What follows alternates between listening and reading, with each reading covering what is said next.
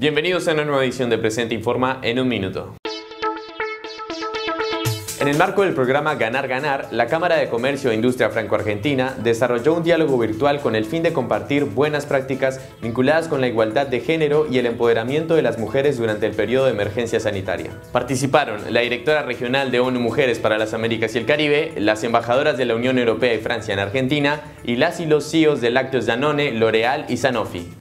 Samsung continúa su apuesta por la educación y anuncia el comienzo de la nueva edición de Soluciones para el Futuro en Argentina, Uruguay y Paraguay. El programa invita a los estudiantes de colegios públicos a pensar en proyectos innovadores que den solución mediante el uso creativo de tecnología a problemáticas que se viven en sus comunidades.